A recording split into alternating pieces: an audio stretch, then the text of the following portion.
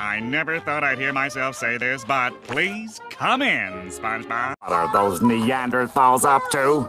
Don't they know I'm busy spoiling myself? All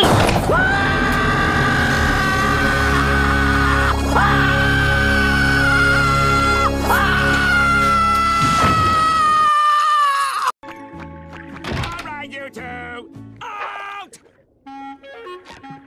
Don't even think about dragging your empty skulls around here for the rest of the day, or tomorrow, or next week. Huh? As it does!